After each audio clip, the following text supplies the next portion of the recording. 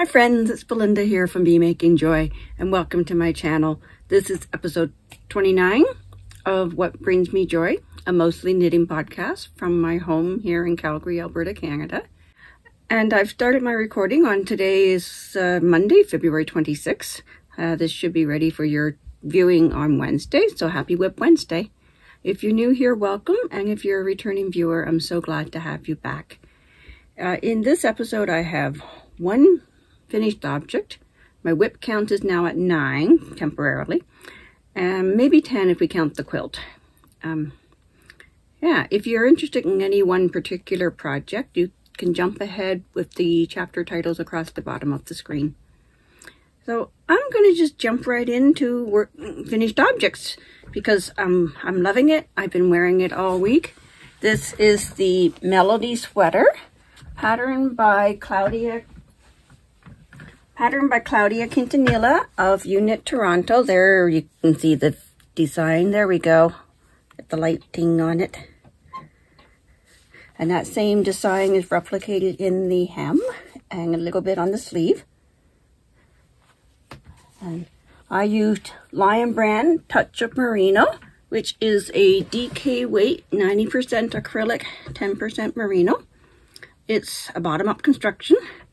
And I tell you, I worried all the way through this yoke, wondering if it was going to fit, thinking that opening was too big, too big, too big. And then suddenly it decreased up just right. I thought the neck was going to be too big, but it's so comfy. I'm loving it. People tell me that bottom-up sweaters tend to fit better. I don't know, but this one is perfect. Those, the Melody Sweater by Claudia Quintanilla of Unit Toronto. I'm wearing it with jeans right now. I don't know if I can get back far enough to show you. There we go. It also looks pretty good with a skirt, which I wore on Sunday. I've added two inches more than what the pattern calls for, because belly, you know. And I don't know if you can tell, if you can, if I can show you, I've um, put a purple thread in the back section so I can tell which is the back, which is the front, because there are short rows. Short rows are just under the design in the back. And if one looks closely, you can probably see my short rows because I did not do a very neat job of the wrap and turns, of resolving the wrap and turns on that final round around yeah, I think I need to revisit Japanese short rows or German short rows next time I do short rows. Anyway. Now, my I have a few WIPs that I will talk about, not all of them, of course. My Stadium Sit-Upon, that design is still with the technical editor. That's these three cushions across the bed. Now we're on track for releasing this pattern in about three weeks. They are cushion covers with also the option of a carry handle for tote bags. Uh, my first, my first project is the finishing touches on the oof, baseball version that I'm still working on. I should have this done in time for the pattern release, I think.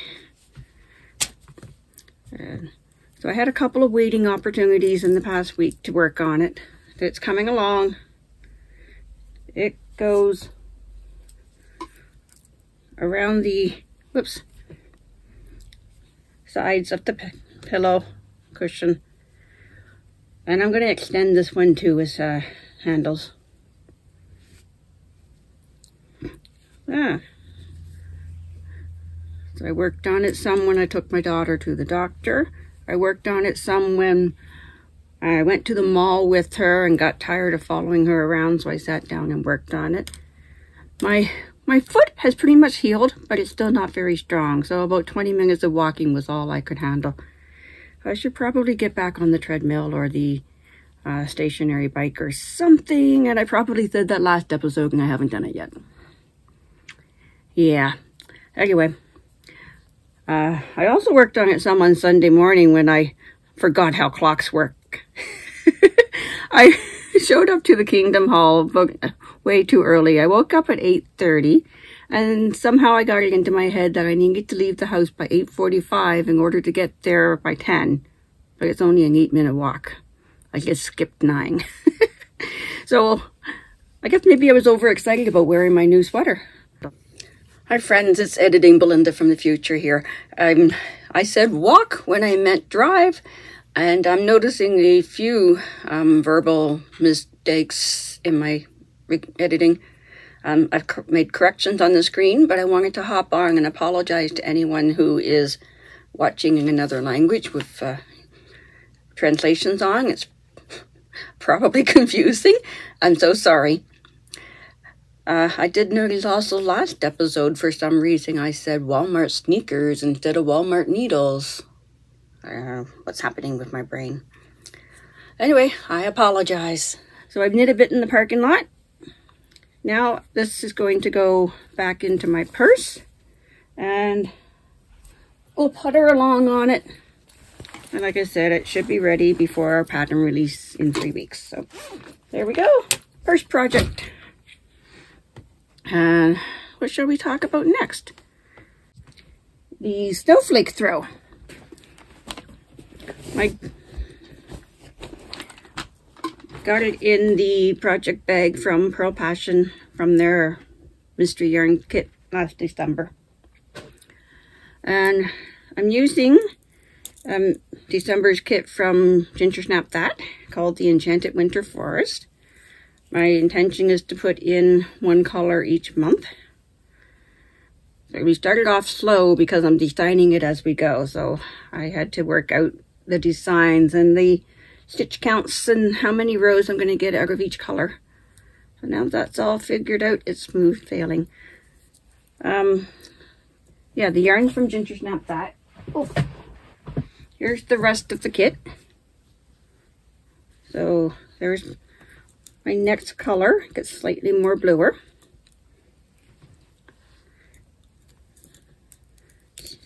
It's getting to the point where it's bunched up on my needle. I wonder if I have a longer cord. I designed that, am I showing you the right side? Yeah.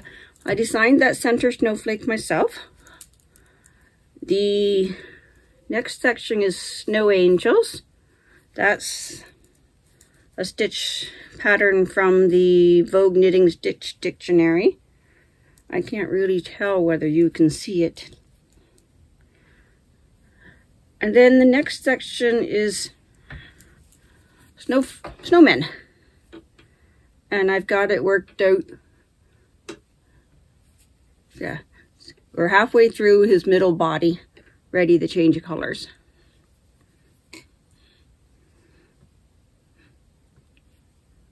Yeah. That's coming along. Um, like I said, these are yarns from Ginger Snap That. They're fingering weight on their Lush fingering base, which is a 75% superwash merino, 25% nylon. The skeins were coming in at slightly more than 50 grams, but I worked out the math to make sure that I came in under 50 grams so that when I write the pattern, I'm writing it as I go. Um, when I release the pattern, others won't have a problem of running out. So they're designed for 50 gram skeins. Uh, I stopped the first color early just for aesthetics, so we've got about 15 grams left to maybe do up the bind off with, maybe. Then the next color I used 48.9 grams. And going forth, the math works out that we should be using 48.9 grams of each color.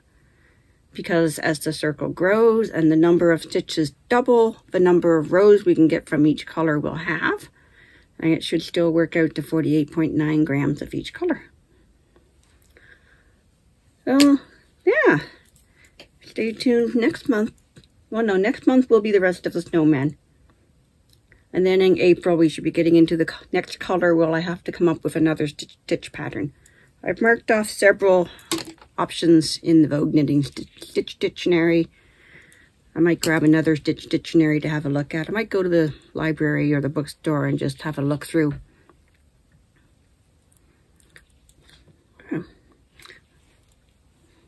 I think that's all that there is to tell you about that. Um, let me get these out of the way and then we'll show you the Pokemon cloak.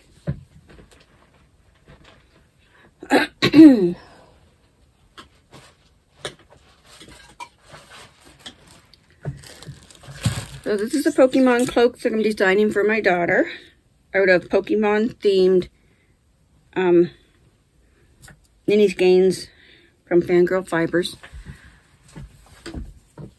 I know I'm going to get really hot as I put this on. So we've, there we go. The neck opening, we've got an armhole opening, and you're not getting the full effect because it's still bunched up on the needles on the bottom there. I did three and a half more colors since last episode. And I've only got one and a half colors left to go before I can start the bottom hem and the button band. I've got those yarns already ordered. They should be ready. They might even be ready before we finish recording uh, from Ancient Arts. These yarns were from Fangirl Fibers, but they don't do solid colors for regular purchase. They do just mystery packages, theme packages, sci-fi themes, Disney themes, Pokemon themes, etc. So I ordered the complimentary yarns from Ancient Arts in Calgary. Uh, red, white, and black for the Pokeball colors. Uh, we're getting so excited, my daughter and I, to get started on the next part. I still have to graph out or write out the hood part, part of the pattern. Pardon me for my speed, my choppiness of my speaking. I am so hoarse, out of breath. I haven't been breathing very well recently. Okay, I'm going to pause because I'm getting very hot. I think I might uh, change or at the very least step outside for a bit. So last episode I had cast on a new project and since then I've frogged it and cast it on again twice. This is the Equilibrium Shawl by Monique Boonstrom. And here's the front side. I'm on row 23 now. I've got a lifeline in there. I used just uh, sewing thread for my lifeline, but I might regret that because I can't actually see it in the fabric if I ever need to use it again. Um, yeah, I was dropping stitches, so I restarted twice. And then I decided to switch to bamboo needles rather than my ChiaoGoo so that they would stop slipping around so much.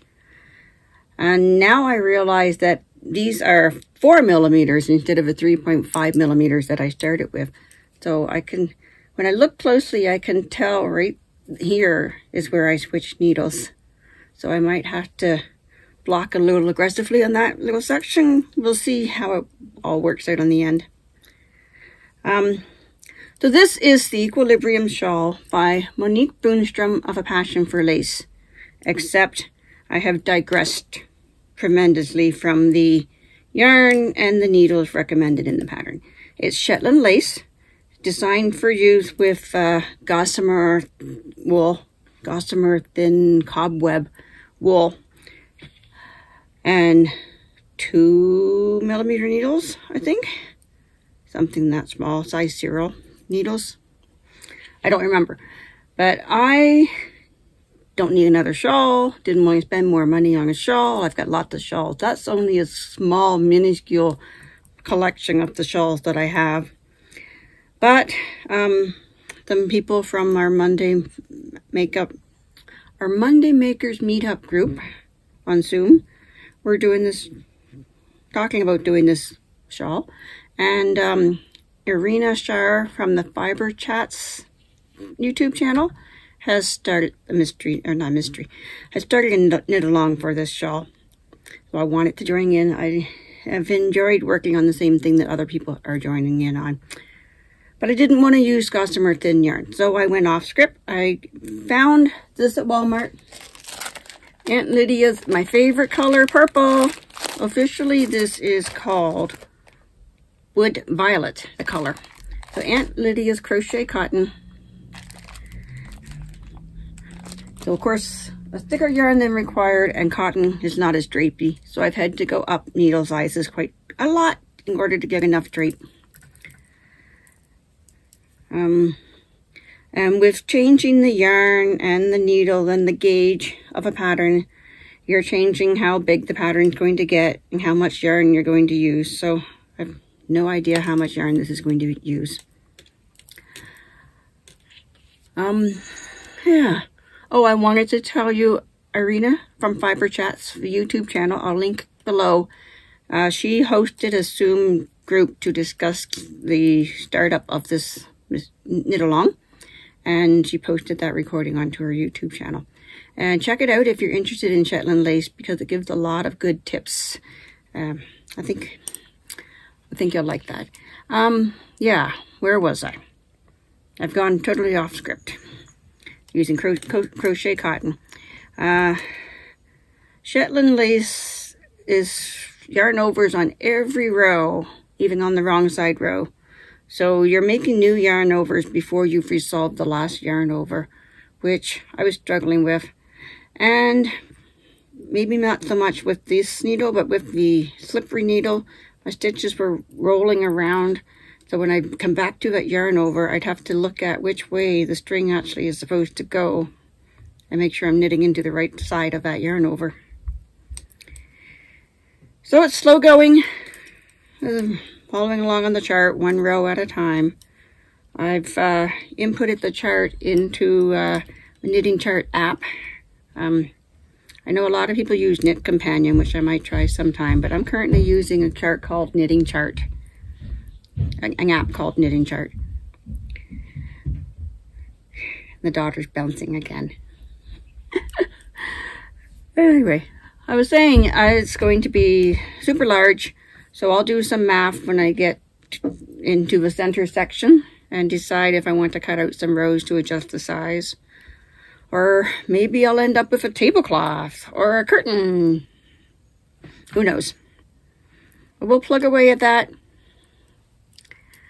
Um, I'm going to grab some more of this thread at our next grocery trip to Walmart if they have any left, just uh, to make sure because it's my favorite color, so I can never have too much of my favorite color, right? yeah, that's,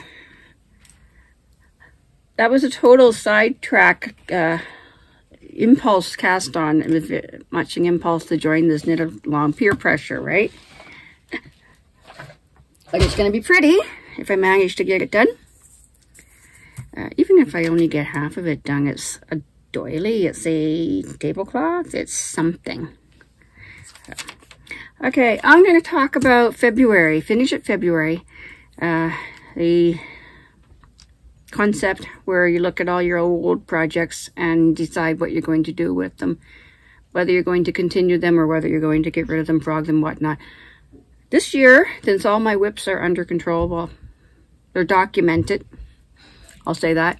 Um, I decided to focus on my sewing projects this February. And uh, I haven't talked to my daughter yet about the remaining items in my mending pile that belong to her. But I made a lot of progress on the t-shirt quilt that I'm making for my husband. So I'll take you down to the basement to show you. But you'll have to excuse the mess down there.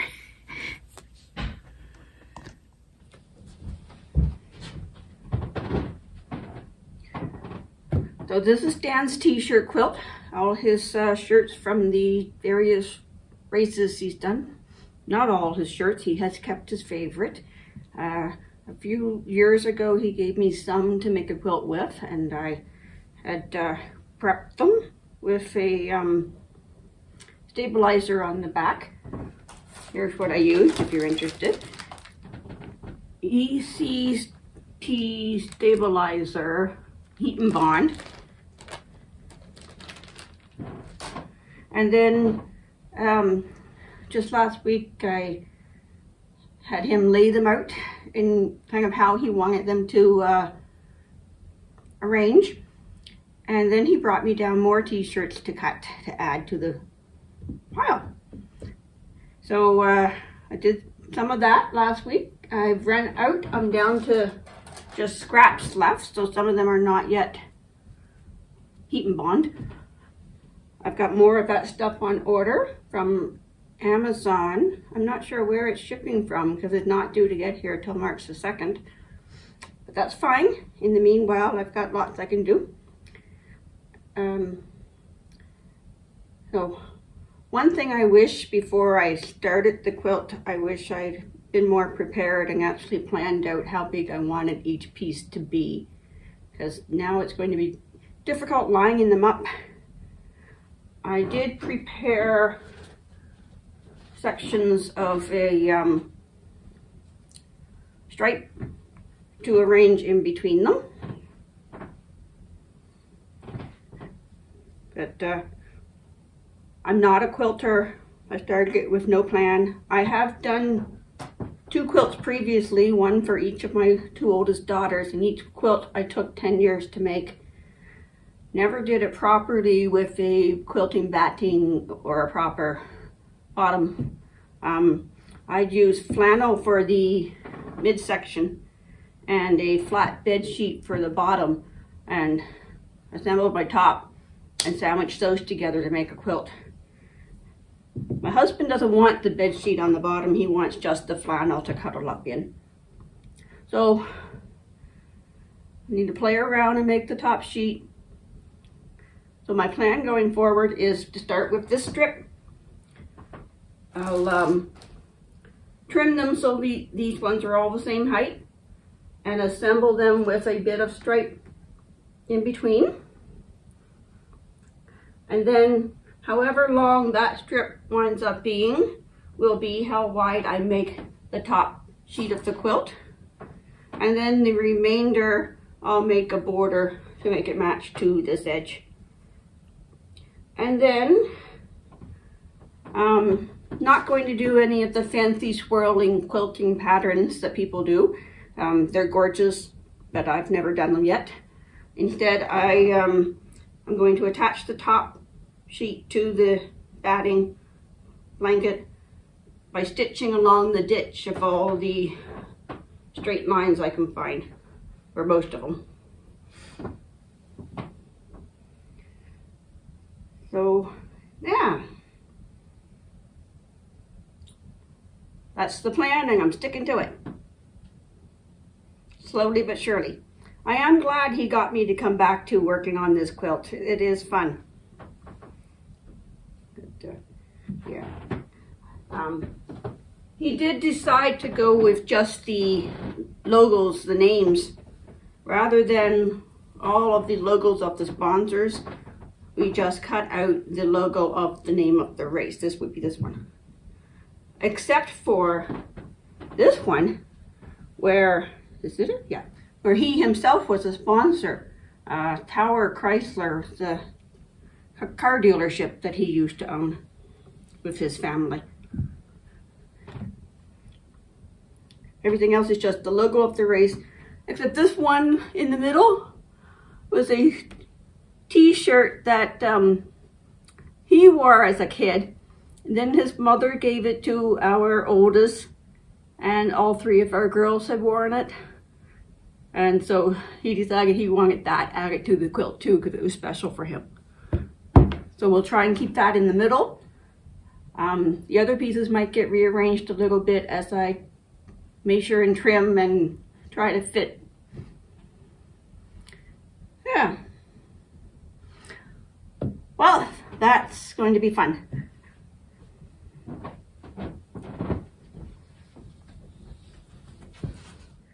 That's all my crafty adventures for this episode, and there's no acquisitions to share. So let's do a little bit of a life update. We cleaned out our place in Canmore to put it up for sale because we haven't really been using it for the last four years, four or five years. We haven't been there much. Our friends have been using it more than we have. So we decided uh, it's time to let it go. And so we cleaned some stuff out of it so we can get ready to put it up for sale.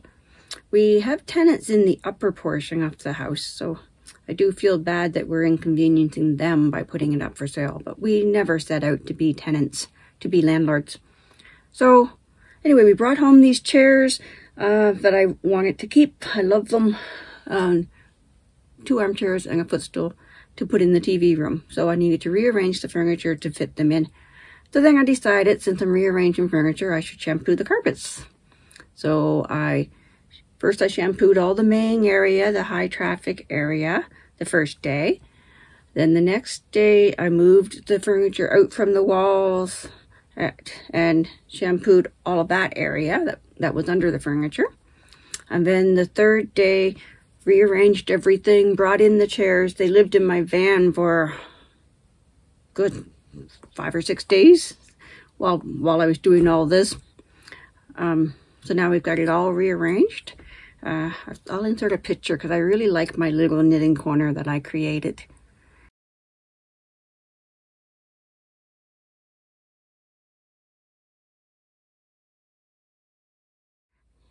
Um, and now the carpet cleaner is sitting in the kitchen in the way because I intended to go back and shampoo the middle of the room again before I put the carpet cleaner away. So I really should because they, they were so dirty. I bought this Bissell carpet cleaner in 2020 and I've shampooed all the carpets at least twice since that, but they're still so dirty. Carpets are so unhygienic. Ugh. I hate them. but hate them and love them. I don't know if I'd want every floor to be hardwood cold floors. The hardwood's kind of warm, but anyway. Yeah, so I need to go back and finish shampoo shampooing, carpet cleaning that. The main traffic areas again. The other rooms, maybe next month I'll do them all again. Um, yeah, that's what our family's been up to. Um, no, no travels, no races, no, nothing else exciting. Um, a lot of podcasters talk about what they're reading and what they're watching on TV. Um, what I watch is a lot of knitting podcast and then um, some crime shows, um, mindless stuff, really. And I'm not much of a reader, but I have been the last three years following along with the Unraveling podcast in their book club. And this year they're doing The Golden Thread How Fabric Changed History by Kassia St. Clair. Now, the Unraveling podcast is a knitting podcast, audio only. It's on Spotify, Apple Podcast, some other stuff. Um, I'll link to their website, and then from there you can get to their podcast. Uh, it's hosted by Knitting Daddy Greg and Pam Maher, and they talk about their knitting projects and the things that they've learned. And then every second episode is a book club episode. I don't know how long they've been doing it, but I've follow, been following along the last three years. We've did they're always fabric, fiber, fiber related books. We've done two previously. I'm drawing a blank on what they were. And this year's The Golden Thread. And I'm only slightly behind where they are right now on their podcast. And I'm enjoying it. It's a really interesting book. So um, I'll just go through the um, table of contents for you. Because that's a good summary. It's really interesting. It's such tiny print. So chapter one is Fibers in the Cave, the Origins of Weaving. Then we have Dead Man's Shrouds, Wrapping and Unwrapping Egyptian Mummies. And three is Gifts and Horses, Silk in Ancient China. Four is Cities that Silk Built, the Silk Roads. Five is Surf Dragons, the Vikings with woolen sails. Six is The King's Ransom, wool in medieval England. Seven is Diamonds in the Rough, laced in Luxury. Eight is Solomon's Coats, Cotton America and Trade. Then we have Layering in Extremis, Clothing to Conquer Everest and the South Pole. Workers in the Factory, Rayon's Dark Past. Under Pressure, Suits, suits Suitable for Space. Harder, Better, Faster, Stronger, Record-Breaking Sports Fabrics. And chapter 11 is the Golden Cape, Harnessing Spider Silk. Spider Silk. Ooh. And then there's an introduction and a um, appendix and what do you call that ending? A coda. I yeah, it's uh, such tiny print. I've had to get out my magnifying sheet to read it. Actually, my magnifying sheet has an on and off switch. There's lights in it. I should replace these batteries. Yeah, so I want to try and get into the habit of reading more before bed instead of spending all my time on online browsing. Yeah. Well, that's all I have to share with you this week. Um, so my next episode will be March 13th. And in the meantime, if you could press the like button so more people could see my video, that would be really nice. If you want to be notified when the next uh, episode comes out, hit the subscribe button and hit that bell. And uh, happy knitting, happy crocheting, happy reading, happy whatever it is that you like to do. Go find some joy.